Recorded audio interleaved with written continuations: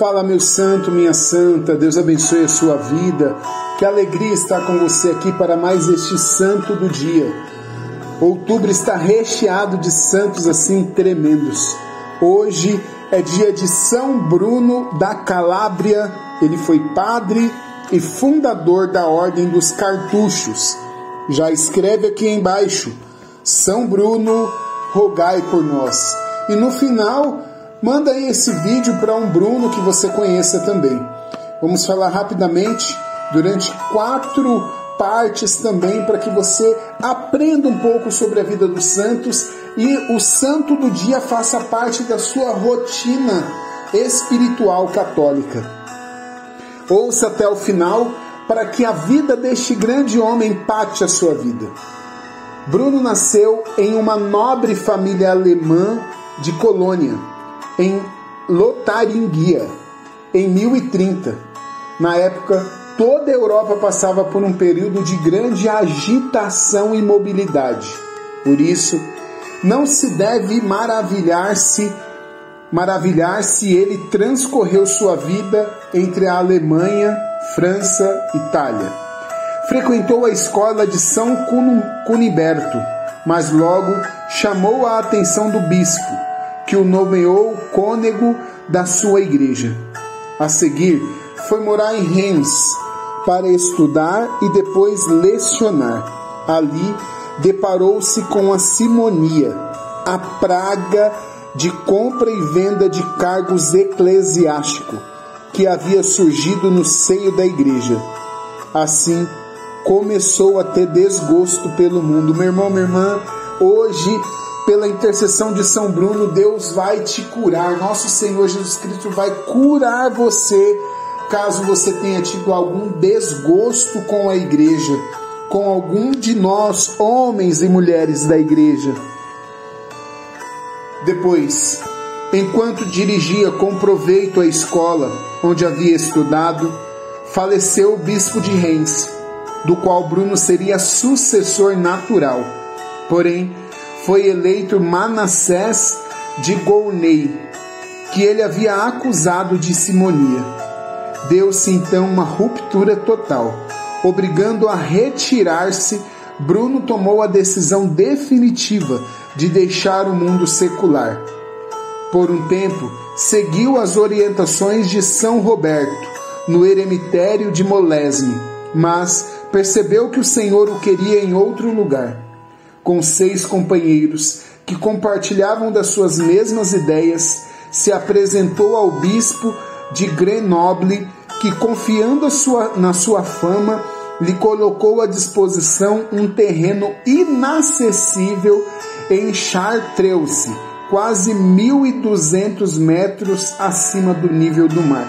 Meu irmão, pensa, você está vendo as coisas erradas acontecerem, aí você vai lá e tem um rompimento. Você seria o bispo ordenado, ele era um presbítero, ele seria o bispo ordenado, e aí é colocado no lugar dele alguém que ele denunciou. Então houve uma ruptura. Mas depois de ter morado no eremitério de São Roberto, ele ganhou esse terreno a 1.200 metros acima do nível do mar. Vamos ver o que ele fez para nos ajudar a também passar pelas nossas tribulações. Bruno sentiu-se realizado naquele lugar inacessível com seus companheiros, iniciou a construção de cabanas de palha, mas nas quais viviam, e também uma igrejinha edificada de pedra, conforme os critérios para a consagração de um lugar sagrado que ocorreu em 1085. Naquele lugar, Bruno conseguiu viver uma vida de silêncio, conversando em seu coração apenas com Deus, mediante a oração e o recolhimento enquanto a vida comunitária era reduzida ao mínimo. Entretanto, ele e seus companheiros não sabiam que estavam fundando algo novo, porque não era aquela intenção. Queriam apenas manter distância dos mercenários simoníacos e viver o evangelho com radicalidade. De fato, foi apenas tentado a fazer a vontade de, de Deus. Que tal experiência se transformou em uma ordem nova, ordem, em uma nova ordem monástica, os cartuchos, Embora Bruno tivesse começado a escrever muitas cartas e reflexões, a verdadeira e própria redação da regra só ocorreu no, com o quinto prior, que foi Giggs. Após apenas seis anos de fundação dos cartuchos, Bruno foi convocado a Roma. Um seu antigo aluno, eleito Papa, com o nome de Urbano II, o quis como conselheiro. Bruno não ousou desobedecer o sumo pontífice, mas lhe custou muito abandonar a vida monástica. Na verdade, sua permanência em Roma durou apenas alguns meses, obtendo depois autorização do Papa para se transferir para a Calábria. O Papa queria nomeá-lo bispo de Régio, de Régio Calábria, mas Bruno recebeu de presente de um fidalgo um território na localidade chamada Torre. Ali começou a formar uma nova comunidade de eremitas, onde vive um povoado que hoje, em sua honra, se chama Serra São Bruno. O santo passou os últimos anos de sua existência naquele lugarejo, vivendo como sempre quis, até a sua morte em 1101. Meu irmão, minha irmã,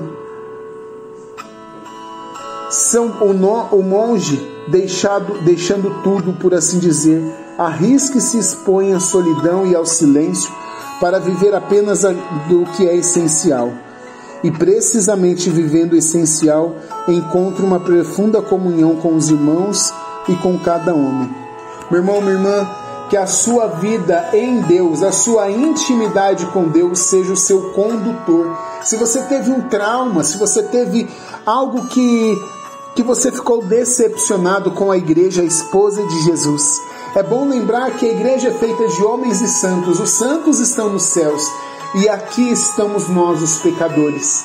Mas a sua vida de intimidade ligada profundamente a Deus o ajudará a ter uma vida nova, renovada dentro da Santa Igreja.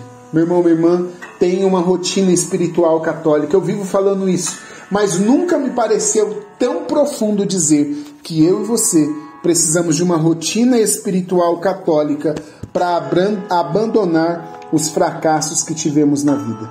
Coloque escrito aí São Bruno, rogai por nós.